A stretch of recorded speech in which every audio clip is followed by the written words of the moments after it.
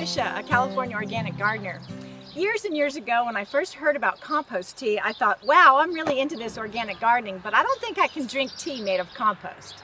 And actually, it's not for drinking, it's for feeding your plants. Today, I'm gonna show you how to make a good thing like compost even better by making compost tea. Compost tea takes all the benefits of compost and enhances them. It helps the plant stay healthy, it increases the availability of nutrients, and it helps speed up the breakdown of toxins. To make my compost tea, I'll be using this ready-made home brewing kit.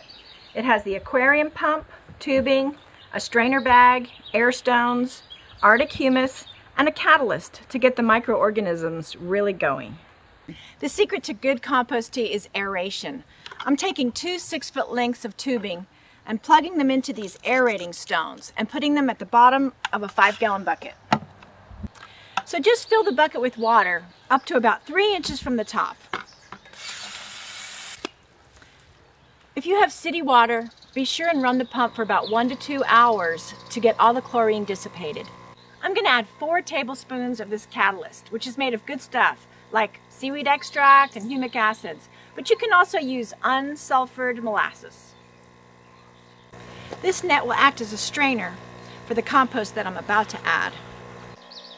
I'm going to add one quart of this Arctic humus, which is a naturally occurring compost harvested conservatively in Alaska. Vermicompost, which is compost made by worms, is another great compost to use. Or you can use any high quality homemade compost. So now we're going to let it brew for about 24 to 48 hours and just stir occasionally.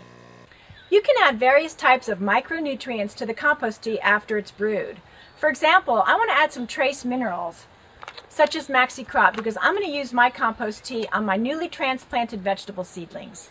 Fish fertilizer for nitrogen in the vegetative growth stage, and for fruiting and flowering, add the high phosphorus bat guano or BioLink. Well, my compost tea should be ready now. It's been brewing for about one and a half days. It has a lovely earthy smell and a coffee-like color. If your tea smells unpleasant, it means it went anaerobic and you'll need to start over. Okay, we're going to take the strainer bag out as well as